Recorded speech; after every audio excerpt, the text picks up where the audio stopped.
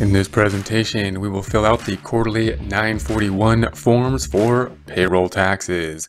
We will do so using our information from the payroll register in Excel. Note we have information so far for the month of August and September. Support accounting instruction by clicking the link below giving you a free month membership to all of the content on our website broken out by category, further broken out by course. Each course then organized in a logical, reasonable fashion, making it much more easy to find what you need than can be done on a YouTube page. We also include added resources such as Excel practice problems, PDF files, and more like QuickBooks backup files when applicable. So once again, click the link below for a free month membership to our website and all the content on it. Our data starting in August, therefore, we don't have any first or second quarters. We're in essence starting in the third quarter here. So we have these two months of data and then the fourth quarter, October, November, December, we don't have yet. Note when we talk about quarters, sometimes it's easy to, sometimes it's, we can think that there's four months in a quarter because a quarter, because it's a quarter, but just remember that uh, quarter is going to be the 12 months divided by four, which is three months. So there's three months in each quarter. And our uh, quarter here, of course, is only two months because we started in the middle of the third quarter. So what we're going to do is we're going to sum up this data and we're going to use this data in order to fill out the form 941. To do that, we're going to have to add this up. So I'm going to add up the two quarters. I'm going to do that all the way at the bottom down here of our payroll register. We have quarter three, and then we have the year-to-date totals. So I'm going to I'm to put uh, both of those. I'm going to fill both of those sections out. So in uh, F39, we're just going to say equals. I'm going to scroll all the way up top to the total in our first data, which is in F9. And then just say plus, and then I'm going to scroll down just a bit and pick up the total in the next set of data, which is September, in uh, F16. And that's it. That's all we have for the first quarter, and then enter. So there we have that. Now I'm going to do the same thing for the yearly totals down here. Uh, and that'll mean that as when we work, use the worksheet in the future, the totals will populate just for us automatically. Uh, these probably shouldn't be green here. I'm going to ungreen these. I'm going to, uh, I'm just going to highlight these. It's probably not green on your sheet right now. Right click, but I'll show you what I'm doing. And then paint and make it blue. Okay, so now we're going to do the same thing for the yearly totals and it'll match right now, but as we move forward, then it'll differ. So, and once we do that, then I'm just gonna copy these formulas over to all of our total datas and it'll populate for us automatically. So in cell F41, we're gonna say equals and scroll all the way to the top. And we're gonna point to the F9 and then plus, scroll down just a bit, point to uh, F16 plus, and note the formula is up here. We can see the formula in the formula bar up top. And then we're going to scroll down. Even though there's zeros in October, I'm still going to pick it up. Pick up that number plus. And then here's the totals in the formula bar. Then we're going to pick up this zero in F30 uh, plus, and then we're going to scroll down just a bit and we're going to pick up the zero in F37 and enter. So there's our information. Now we're just going to copy that information and paste it over into our totals on the right. And it should uh, just move over the relative formulas. So I'm going to highlight these cells, right click and copy. And then we'll just populate, I'm just going to highlight all of these cells or select all of these cells. Right click and paste the first one. And it shouldn't matter here or the formulas, but uh, they're all dollar amounts, so it should be the same. So there we have that. Now we're using, uh, well it doesn't matter which one we're using. They're both showing the same numbers right now because we only have three quarters. But as we populate the worksheet from here, it will then populate um, the rest of the data. Now we're going to take this data and see what we can fill out here on the 941. So the 941, we're going to have the EIN number first. That's going to be the employer identification number. No matter what type of entity we are, sole proprietor, partnership, corporation, we typically will need, well, we will need an EIN number to fill out the payroll. and uh, that's going to be separate than our, our other um, identification number for the Internal Revenue Service. So we've got the name, the address. We're not going to concentrate on that here. What we do want to make sure we do is check off that we are in the proper quarter, the third quarter, July, August, September. Note, we only have data for August and September because uh, we started operations within October. Okay, so then we're going to go down and start filling out our form down here. Line 1 says, number of employees who receive wages, tips, or other compensation for the uh, pay period, including March, June, uh, in the quarters here. So we're going to pick up the number. We had four employees. So we're going to say four. Okay, then the next one says wages, tips, and other compensation. Now the wages, tips, and compensation here has to do with the federal income tax wages, tips, and compensation, which will differ from what we will have down here in terms of wages and tips and whatnot for Social Security and Medicare.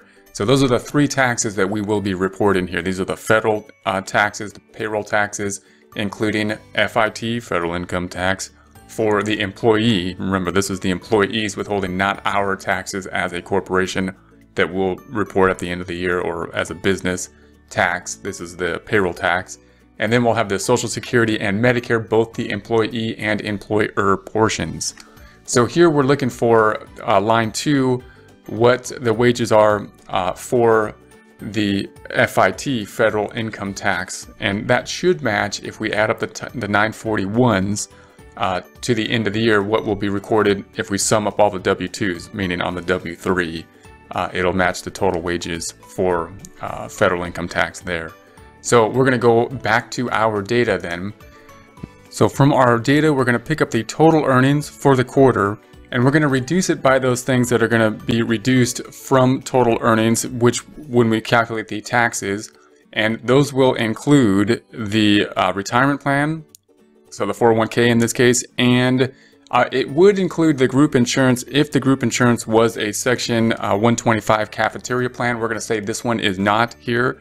So we're just going to reduce the net pay. And note that this should kind of match the, the type of calculations we had with the withholdings when we withheld on the federal income tax, meaning when we looked at each individual payment and tried to find the FIT tax, we should have taken the payment minus the 401k plan and then looked that information up to tie out to the tables. So in essence, we're looking for that same kind of uh, total number for total wages uh, regarding federal income tax. So if we pull the calculator out here, we're looking for this 96973.5 minus this 5548.4. That'll give us the 91, 425, and 10 cents. So we'll go back to our form 941, back to the 941, and we're going to put then the 91 comma 425 tab to be on this other side because they put the decimal in for us, and 10 cents. So then we got the federal income tax withheld. Now note we can't calculate this again. We can't use this total number and calculate the federal income tax withheld because it's not a flat tax. It's too complicated to do so. All we can do is tell the IRS, hey, this is the what the wage base that we that we used but all of our employees have a different number of exemptions and a different uh, set of circumstances, and therefore we cannot just use that number in order to generate the FIT. So this number, although useful to the IRS, doesn't really indicate anything much at all with regard to what the actual federal income tax withholding could be. All we know is what we actually withheld. So if we go back to our data here, we're going to say that uh, the actual withholdings for the federal income tax is the FIT number, this $17,003.26. So we're going to use that number. We're going to go back to our form and we're going to put in that 17,003 tab and 26 cents. Now we're at the Social Security. So we got Social Security wages. So we're going to go back to our table. We're going to pick up the Social Security wages now in the third quarter, they're the same as total earnings, and that's because one, nobody's hit the cap, 128,400. Uh, in the next quarter, it will because we have one employee who is a high earner. And um, note that it could also be different if there was something that could be deducted from the wage base for OASDI uh, and Medicare. It could be different from the total, and that would include a cafeteria plan. So remember, this isn't a, a cafeteria plan, but if it were, then that would be another instance in which the OASDI and the Medicare would differ from the total earnings. So we're going to pick up this number. So we're going to go back to our form here. And just note before we do that, I'm going to pick up this number and we already calculated the OASDI here and we calculated it here and note the rate 6.2, 6.2. When we go back, uh, we'll, we'll note the difference here. It could be a little confusing. So we're going to go back and put this uh, data in. We're going to say the amount is 96, comma, 973 tab and 50 cents. And note the rate here. It says then to multiply times 0.124. You might, okay, we'll do that, but what is that? Where does that number come from? 0.12. I haven't seen that number before. And that number, of course, is the 0.062, 6.2% we've been using, times 2, meaning the employer and employee portion. So we're calculating the employer and employee portion at the same time, in other words. So we're going to take that uh, 0.0, I mean 0.124 times the 96973.5 and we get 12,024.71 about.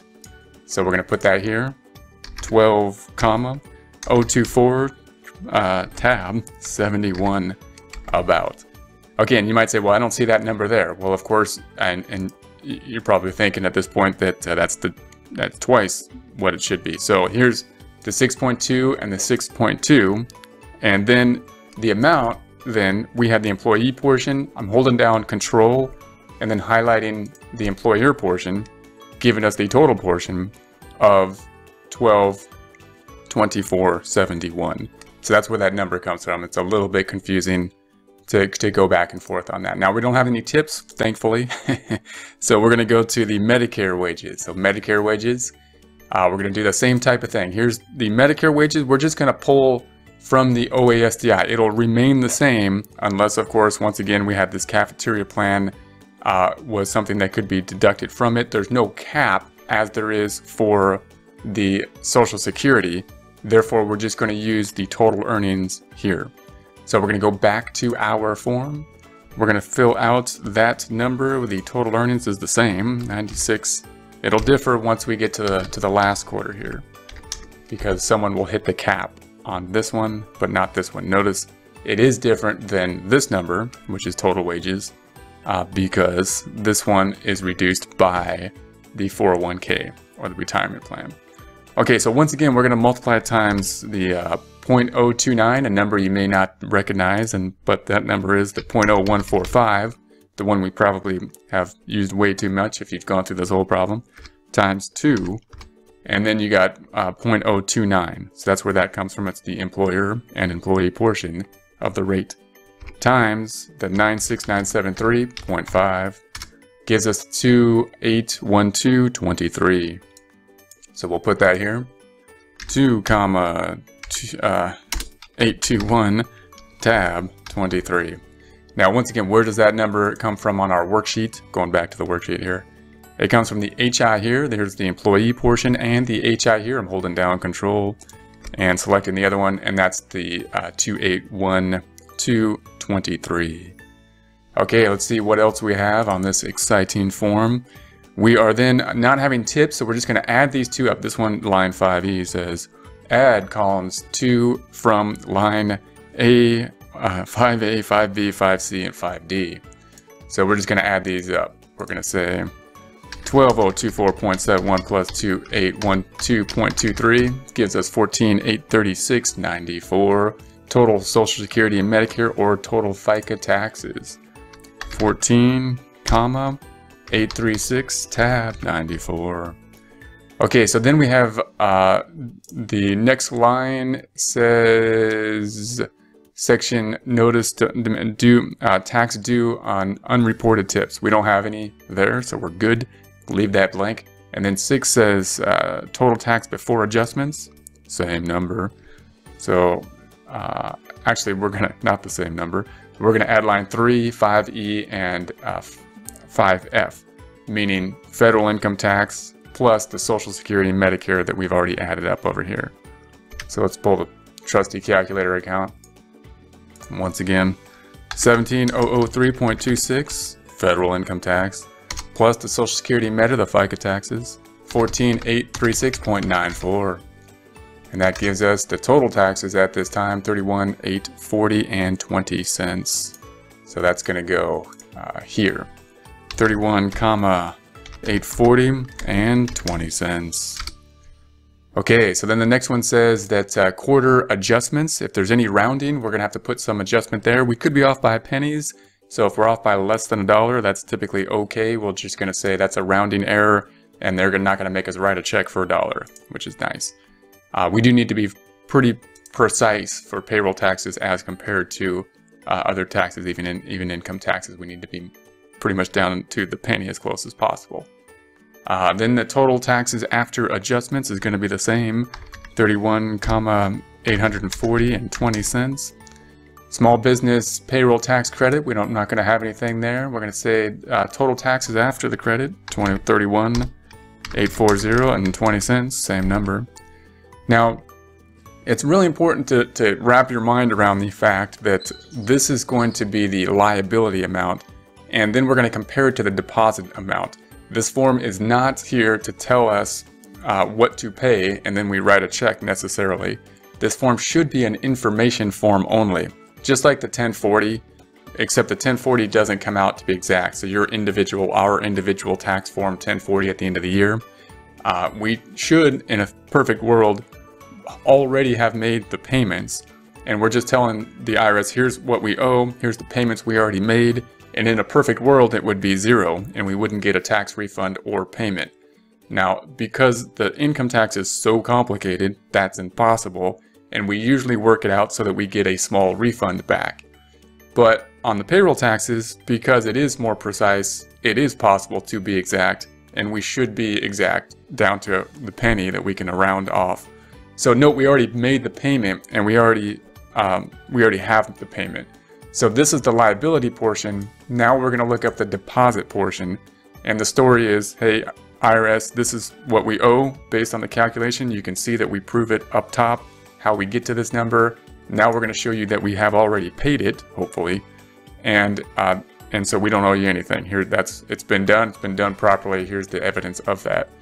So we're going to go back to our form, and we're going to look for the deposits now. So to do that, we're going to go to the GL.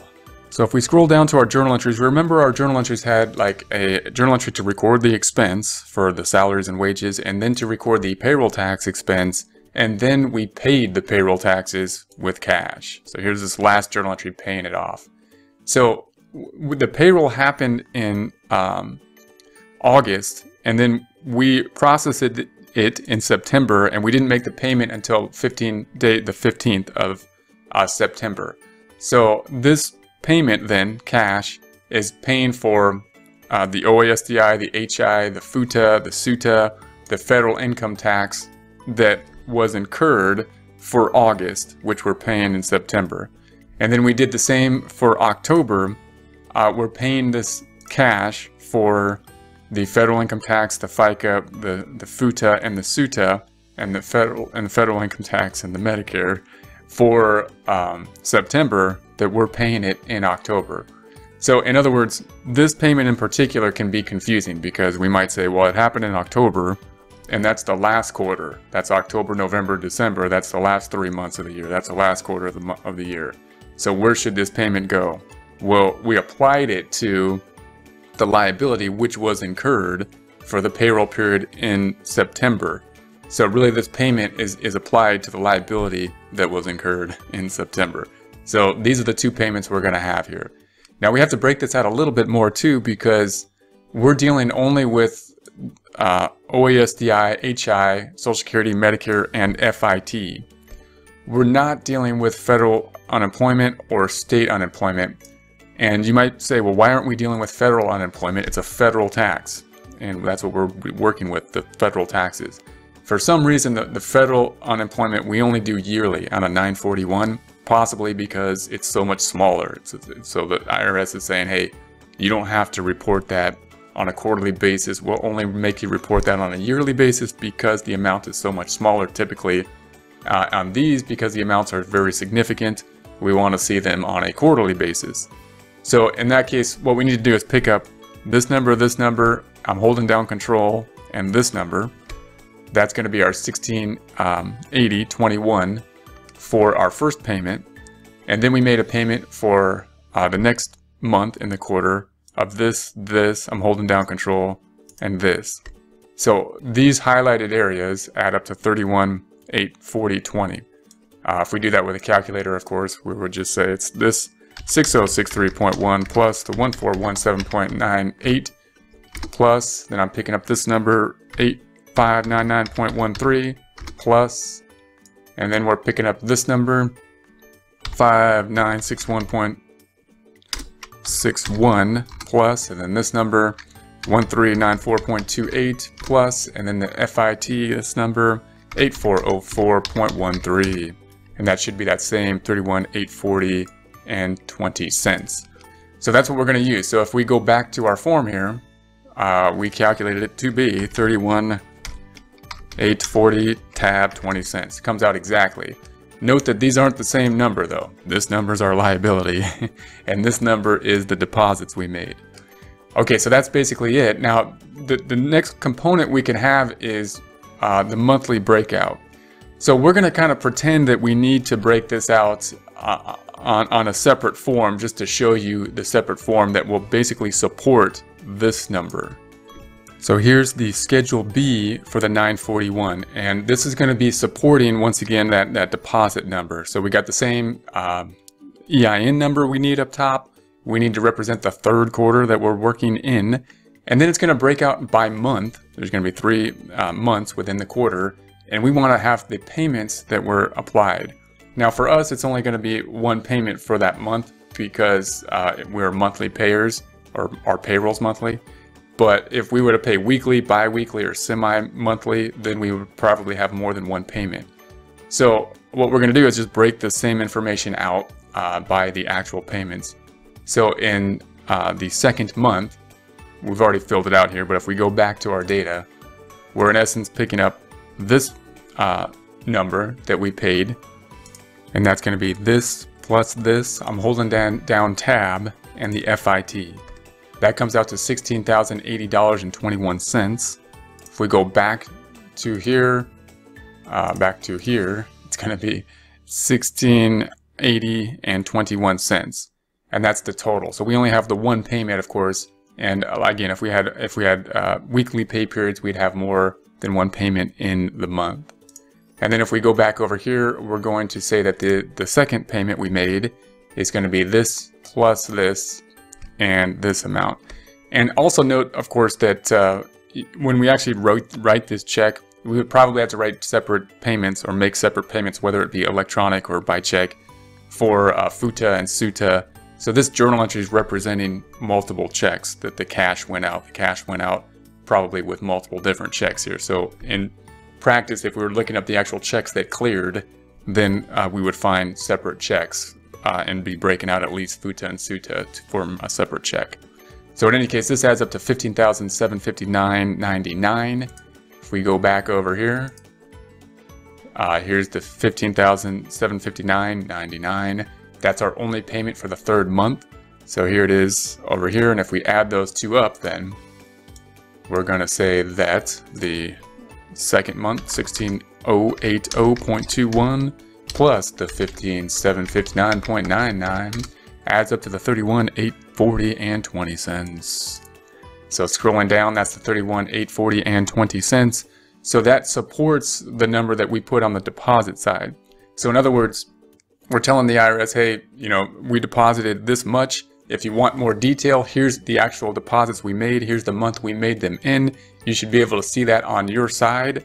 If you don't see it on your side, let us know and we can then go back through and match this stuff up because on our side, this if this deposit has cleared the bank, then we can be pretty clear that the that the IRS has um, deposited it. And then the only question is, well, if they deposited it and they say that they don't have it, then it may not be applied to the proper quarter, meaning uh, we may have put the wrong quarter up here and possibly they applied it to quarter four or something like that when we made the payment. And so then all we got to do is hopefully talk to them and say, hey, it's applied to the wrong quarter. Would you apply it to the proper quarter? And everything should work out. So that's a common type of uh, problem.